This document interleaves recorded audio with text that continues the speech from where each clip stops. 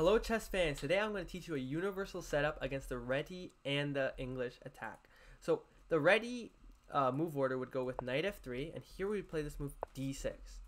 And you have to have a weapon against d4, whether that be the King's Indian or anything else. Here you can also go for the Dutch, you can go for these modern bishop g4 setups. There's a lot of different sort of things that you can go for here.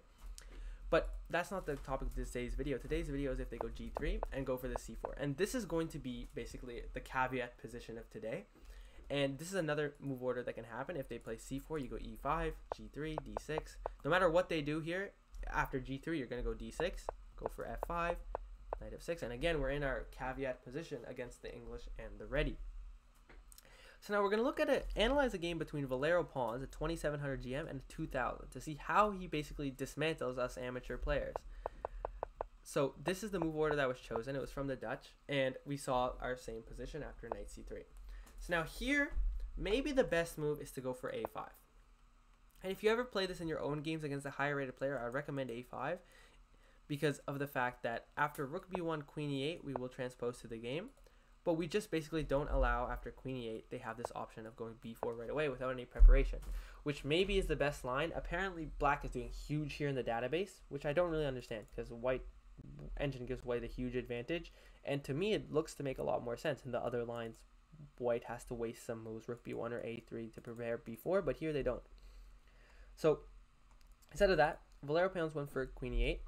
And after rook b1, he went for a5. So again, same position. It's just that they had the extra option of rook b1. And the idea of queen e8 is to go for queen h5, f4, and bishop h3. And this is sort of going to be the idea of the attacking setup. We're going to see it play out. And honestly, he needed a lot of brilliant moves. So if if you're not really interested in being an attacking player, I would not recommend this setup. But you can also play it simply. For example, instead of queen e8 and a5, you can go for a5, and after rook b1, you can go for this move knight a6 and try to play this positionally. This is also another way you can try to look for things. You're going to go for c6, knight c7, look for d5 eventually. But queen e8 is a lot more swashbuckling way to play. So here after a5, we transpose. Now we see queen h5, the idea. We're getting ready for f4. And here his opponent played a mistake. Here maybe the most obvious move is to go b4 and after takes takes. The reason why this is better than just allowing them go b4 right away is because at least now we have an open a file for our rook. So Obviously, that can't be a bad thing for black, and that's why we would like to play like this. So they probably should have gone for b4, but instead they went for this knight d2 move, which is a move I see all too often. And the move pretty much does nothing. You just remove the knight from defending the h2 pawn, which is a very crucial defender for the white pieces. And we're going to see how black takes advantage of that with immediately playing the move f4. Now, white could have possibly been wanting to play f4 themselves, but we have to activate this bishop somehow. So here went for, for knight d5, takes, takes, king h8, and we saw e3. And here, the idea of e3 is, okay, they want to get rid of this strong, stable pawn on f4, and we're also threatening the queen trade. So obviously, we don't want to go back, and we don't want to trade queens. So we have to go bishop g4. Now, bishop g4 is a little bit dangerous, because we are hanging the bishop, uh, the pawn on b7. But what if white went f3? White ended up not going for f3 in the game. Take a few seconds if you can see why he didn't do that. So here, my first thought when seeing this position was, okay, f takes g3, we're threatening mate. If they take our bishop, it's mate. But after h takes g3 and queen h, uh, bishop h3, I think white actually is not doing too badly here after a move like rook f2. We're threatening here, and there's really no sort of attack. So instead, you have to play bishop h3, immediately attacking the rook. Now, if they go for the same line, we can take here attacking the rook and that would be completely winning. This position is minus 8. Notice that if they move the rook or something, we take the knight. So they have to go for this move g4, trapping the bishop pretty much. And after queen h4, I was wondering about something, a move like bishop takes b7. But here, apparently after rook a7, bishop d5, and something like f takes e4, materials that white is pretty much a pawn up. They have an exchange for, we have a bishop and a pawn. But black just has way too much activity in this position, and sort of the cookie is going to crumble soon for the white pieces. So that's why pretty much that's unplayable.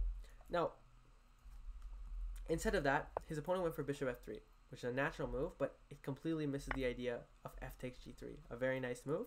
If takes here, we can again mate them. I've already, uh, we've already seen that tactic. And here, after f takes g3, take a few seconds to see if you can find the move. There's only really one move for a huge advantage here.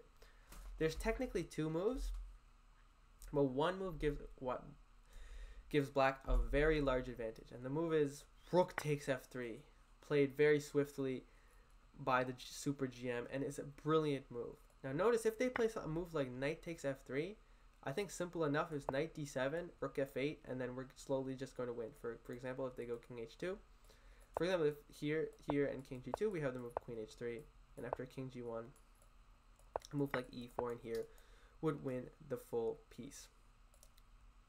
So he took with the rook. You kind of have to take with the rook. Now we don't want to exchange pieces. So here we go knight d7, looking to get the knight in the game. Looking for e5 and here again to win a piece. And so you have to get out of the pin with queen f1.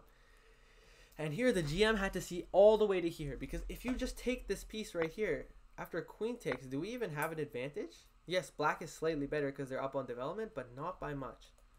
So instead he went knight c5, a brilliant move here. Now if you try to save your rook with some a move like rook h rook f2, we have the move bishop h3, and after queen e2, something like this, this bishop this uh, rook is actually getting trapped.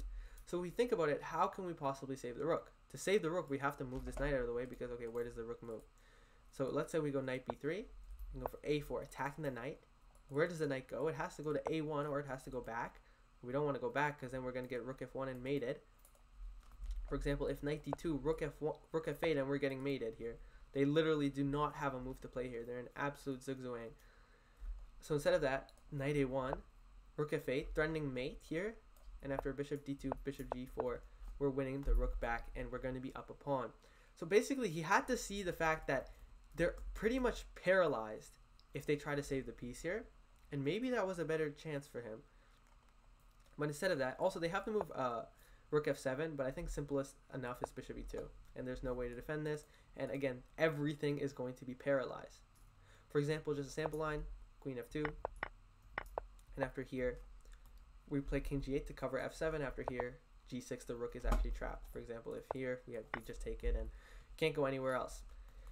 So yeah, basically the super GM had to see all that. And after d4 here, that's why you couldn't have saved the piece. We're also threatening with knight c5 to go takes, takes, and then takes here, and we're going to be up a pawn. So d4, we go knight e4, threatening if takes here, we can go bishop takes f3, knight d2, and after this, it's just game over. With this coming here, this coming here, there's just no way to defend. Rook f7, and here the GM actually made a huge blunder, which is very unfortunate because the hardest move to find is with the knight back. And that's the, your hint for with this tactic. But honestly, I will say it's not a very difficult tactic. I'm honestly shocked that the G Super GM missed it because uh, for me personally, the first thing I thought about was this. The idea is to go with bishop e2 and knight g5. And why do you think that we knight g5 is a really difficult move to spot? It's because after rook takes e7, you have to see this move bishop e2 doesn't actually work here. And the reason is because they have queen g2. So you have to go bishop h3. And then where does the queen go? Can't go down here anywhere. So it has to go queen e1. And after here, it's mate. So I think what was missed, maybe, is this bishop h3 move. Because I don't think this knight g5, knight f3 tactic, tactic is particularly difficult to spot. But I think what was missed is bishop h3. So instead of that, after this, he played bishop e2. Which is what I was pretty much thinking about which is about after knight g5 after. And you would think, okay, after queen g2, then we get bishop takes c4, because if he takes here, we take here, and then we would take this one right after. So maybe that's what he was thinking. But here, there's a brilliant move. And it uses the fact that white is up the exchange. You have the move g4. An absolutely stunningly brilliant move. Cutting the connection between the two pieces, and after takes here, queen g2, white is actually winning here. And yeah, it's very hard to believe that black was just completely destroying the white the whole game, and then yeah, even 2,700 GMs make huge blunders. But instead of that, his opponent played queen f5, which okay, queen f5 is not really much of a try because after knight g5, we're threatening to attack. We're threatening the rook, and we're also threatening like knight h3 sort of threats. And where do you move your rook? You don't have anywhere to move the rook. It's just trapped. So he took here, and after knight h3, he loses the queen, and he resigned the game. So yeah, basically that's a really easy setup against the Reti. What you're going to look for, is we're going to go to our caveated position. uh, not here, sorry. Here, this is the position that we were discussing. The idea is to go castles here, a5 to prevent their counterplay, and look for f4 and this sort of fluid attacking setup. So try this out in your own games, and you can even try this out as white. I've played this many times. I have this twice over the board, and both times I won with the black pieces. So definitely a very good weapon at the amateur level, and also as you can see here, these super GMs use it to beat lower rated players. So if you like this video, please remember to like and subscribe. Try the setup setup out, and if you like it, maybe even share with a friend. I'll see you guys in the next one.